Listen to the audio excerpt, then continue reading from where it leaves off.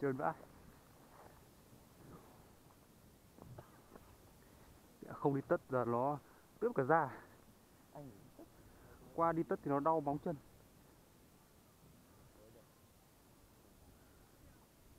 Đi tất